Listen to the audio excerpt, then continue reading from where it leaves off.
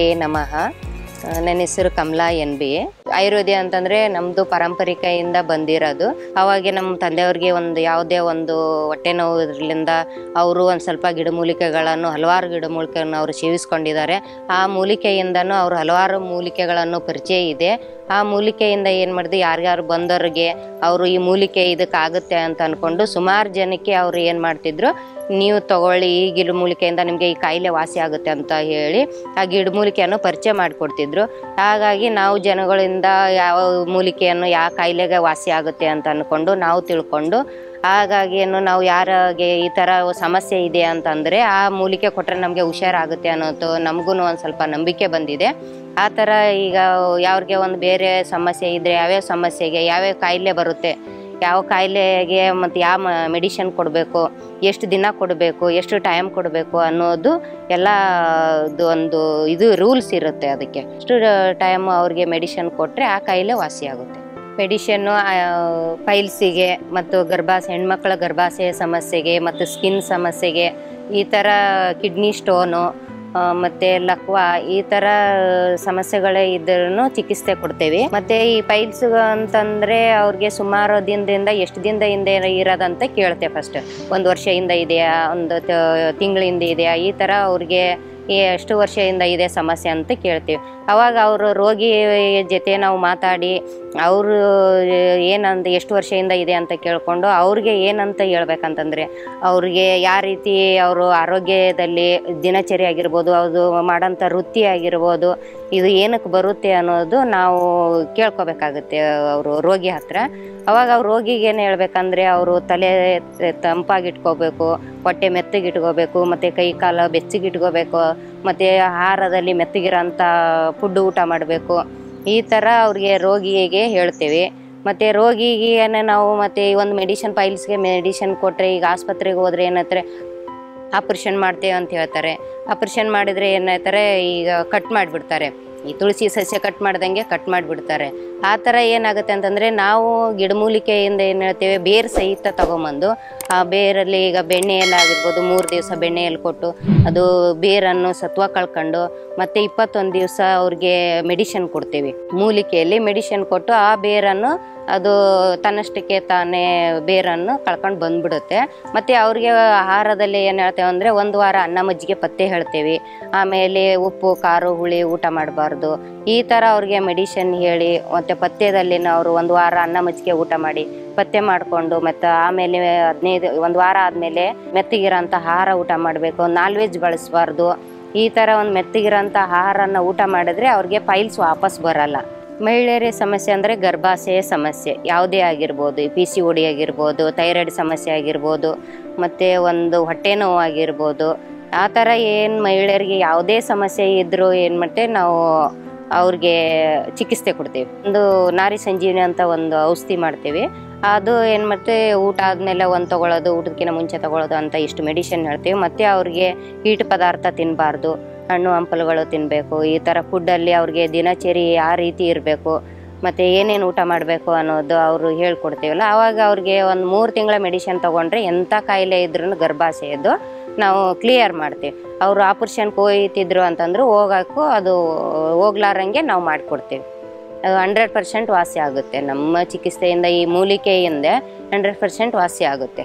ಯಾವುದೇ ಹೆಣ್ಮಕ್ಳ ಸಮಸ್ಯೆ ಆಗಿರ್ಬೋದು, ತುಸ್ರಾವ ಆಗಿರ್ಬೋದು ಈ ಋತುಸ್ರಾವದಿಂದ ಈ ಡೇಟ್ ಆದಮೇಲೆ ಒಬ್ಬರಿಗೆ ಹದಿನೈದು ದಿವಸ ಬ್ಲೀಡಿಂಗ್ ಹೋಗ್ತಾ ಇರುತ್ತೆ. ಅವಾಗೇನು ಅದು ಸ್ಟಾಪ್ ಮಾಡೋಕ್ಕೆ ಇದು ಆಗಲ್ಲ ಅವ್ರಿಗೆ. ನಾವೇನು ಮೂರು ದಿನ ಒಂದು ತಪ್ಪಲ್ದ ಔಷಧಿ ಕೊಡ್ತೀವಿ. ಮೂರು ದಿನ ಅವ್ರು ಕಷಾಯ ಮಾಡ್ಕೊಂಡು ಕೊಂಡ್ರೆ ಇಮಿಡಿಯೇಟ್ ನಿಂತು ಬಿಡುತ್ತೆ ಅದು. ಆ ಥರ ಒಂದು ಗಿಡಮೂಲಿಕೆಯಲ್ಲಿ ಅದ್ಭುತವಾದ ಶಕ್ತಿ ಇದೆ. ನಮ್ಮನ್ನು ಭೇಟಿಯಾಗಿ ಅವರು ಈ ಥರ ಚಿಕಿತ್ಸೆ ಅವರು ಪಡ್ಕೋಬಹುದು. ನಮಸ್ಕಾರ. ನಾನು ಉಮೇಶ್ ಆಲೂರ್ ಅಂತ ಮಾತಾಡೋದು. ನಾನು ಕಳೆದ ಎರಡು ವರ್ಷದಿಂದ ಕಮಲಾಬಾಯಿ ಅವರು ನಮಗೆ ಪರಿಚಯ ಆಗ್ತಾರೆ. ನಮ್ಮ ತಾಯಿಗೆ ನಾಲ್ಕೈದು ವರ್ಷದಿಂದ ಸಕ್ಕರೆ ಕಾಯಿಲೆ ಇರುತ್ತೆ. ನಾನು ಕಳೆದ ಎರಡು ವರ್ಷದಿಂದ ಕಮಲಬಾಯಿ ಅವ್ರ ಹತ್ರ ಗೋಮೂತ್ರದಲ್ಲಿ ತಯಾರಾದಂಥ ಒಂದು ನಾಟಿ ಔಷಧಿಯನ್ನು ತಗೊಂಡು ಎರಡು ವರ್ಷದಿಂದ ಬಳಸ್ತಾ ಇದ್ದೀವಿ. ನಮ್ಮ ಕುಟುಂಬದಲ್ಲಿರ್ಬೋದು ಅಥವಾ ನಮ್ಮ ಸ್ನೇಹಿತರುಗಳೆಲ್ಲ ನಾವು ಬಳಸ್ತಾ ಇದ್ದೀವಿ. ಇವಾಗ ಸಕ್ಕರೆ ಕಾಯಿಲೆ ನಾರ್ಮಲಲ್ಲಿದೆ ಯಾವುದೇ ರೀತಿ ತೊಂದರೆ ಇಲ್ಲ. ಅಥವಾ ಬೇರೆ ರೀತಿ ತೊಂದರೆಗಳು ಆಗಿಲ್ಲ. ಆರೋಗ್ಯವಾಗಿದ್ದಾರೆ ಹಾಗಾಗಿ ಬೇರೆಯವರು ಕೂಡ ಈ ಥರ ಸಮಸ್ಯೆ ಇದ್ದವರು ಈ ಇಲ್ಲಿ ಬಂದು ಸಂಪರ್ಕ ಮಾಡಿ ಇವರನ್ನು ಈ ಔಷಧಿಯನ್ನು ತಗೋಬೇಕು ಅಂತ ಕೇಳ್ಕೊಳ್ತೀವಿ. ಹಾಗೂ ಇವರು ಈ ಥರ ಒಂದು ಸಮಾಜಕ್ಕೆ ಒಂದು ಒಳ್ಳೆಯ ಸಂದೇಶ ಕೊಡ್ತಾ ಇದ್ದಾರೆ. ಹಾಗೂ ಸಾಕಷ್ಟು ಕಡಿಮೆ ದರದಲ್ಲಿ ಔಷಧಿಗಳನ್ನು ಸಿಗ್ತಾ ಇದೆ. ಹಾಗಾಗಿ ಇವರಿಗೂ ಒಳ್ಳೆಯದಾಗಲಿ ಅಂತ ಕೇಳ್ಕೊಳ್ತೀವಿ.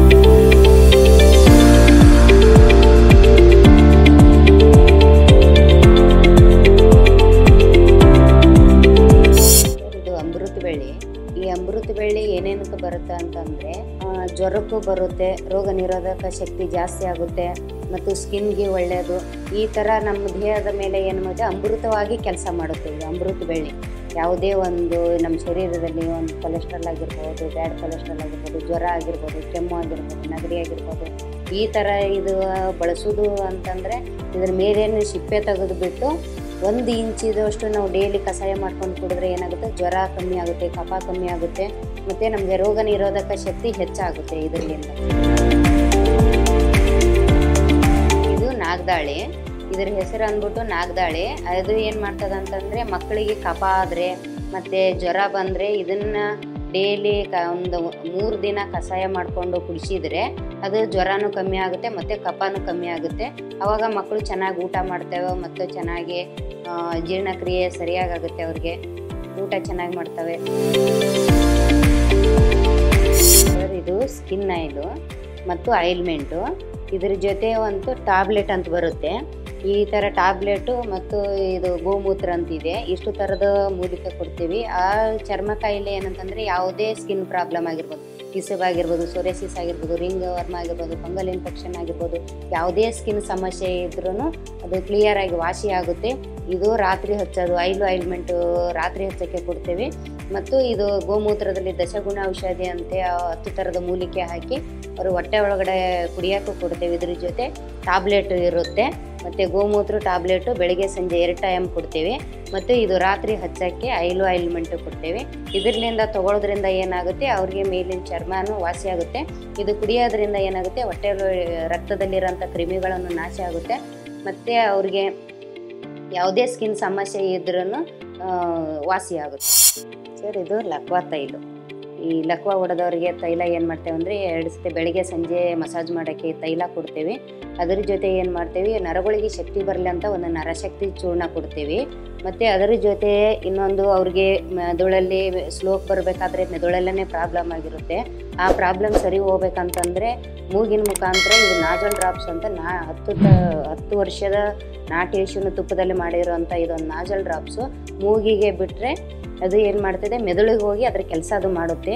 ಇದು ಅಂದ್ರೂ ಬೆಳಿಗ್ಗೆ ಸಂಜೆ ಎರಡು ಟೈಮ್ ಮೂಗಿ ಹತ್ತಾ ಬಂದರೆ ಸ್ಲೋ ಕೊಡೋದು ಏನೇ ಸಮಸ್ಯೆ ಇದ್ದರೂ ಕ್ಲಿಯರ್ ಆಗುತ್ತೆ. ಮತ್ತು ಅದರ ಜೊತೆಯನ್ನು ಇದನ್ನು ಗೋಮೂತ್ರನೂ ಕೊಡ್ತೀವಿ, ದಶಗುಣ ಔಷಧಿ. ಅದು ಸ ಲಕ್ವಕ್ಕೆ ಸಂಬಂಧಪಟ್ಟಂಥ ಮೆದುಳಿಗೆ ಸಂಬಂಧಪಟ್ಟಂಥ ಮತ್ತು ವಾಯುವಿಗೆ ಸಂಬಂಧಪಟ್ಟಂಥ ಮೂಲಿಕೆ ಹಾಕಿ ಈ ಗೋಮೂತ್ರದಲ್ಲಿ ಇರುತ್ತೆ. ಇದ್ರ ಜೊತೆಯನ್ನು ಮತ್ತು ಟ್ಯಾಬ್ಲೆಟ್ ಇರುತ್ತೆ. ಈ ಥರ ಕೊಡೋದ್ರಿಂದ ಏನಾಗುತ್ತೆ? ಎಂಥ ಸ್ಲೋ ಕೊಡಿದ್ರೂ ಹಳೇದಾದ್ರೂ ಗುಣ ಆಗುತ್ತೆ. ಸರ್, ಇದು ಹೇರ್ ಆಯಿಲು ಕೇಶಾಮೃತ ತೈಲ ಅಂತ. ಈ ತೈಲ ಅಂದ್ಬಿಟ್ಟು ತುಂಬ ಮೂಲಿಕೆ ಹಾಕಿ ಮಾಡಿರ್ತೇವೆ. ಹಲವಾರು ಮೂಲಿಕೆ ಹಾಕಿ ಈ ತೈಲವನ್ನು ಮಾಡಿರೋದು. ಈ ತೈಲದಿಂದ ಏನಾಗೋದು ತಲೆನೋವು, ತಲೆ ಹೊಟ್ಟು, ಮತ್ತು ಕೂದಲು ಉದುರೋದು. ಕೂದಲು ಉದುರಿಂತ ಕೂದಲ ಪುನಃ ಹುಟ್ಟುಕೊಳ್ಳುತ್ತೆ. ಮತ್ತು ಡ್ಯಾಂಡ್ರಪ್ ಇದ್ದರೆ ಕಮ್ಮಿ ಆಗುತ್ತೆ. ಕೂದಲು ಉದ್ದ ದಟ್ಟವಾಗಿ ಬೆಳೆಯುತ್ತೆ. ಈ ಥರ ಹಲವಾರು ಬೆನಿಫಿಟ್ಸ್ ಈ ಹೇರ್ ಆಯಿಲಿಂದ ಇದೆ. ಈ ಹೇರ್ ಆಯಿಲು ತುಂಬ ಜನನೂ ಇಷ್ಟಪಟ್ಟಿದ್ದಾರೆ. ತುಂಬ ಜನನೂ ತೊಗೊತಾ ಇದ್ದಾರೆ. ಈ ಎರೆಯಲ್ಲಿಂದ ತಲೆ ತಂಪಾಗುತ್ತೆ.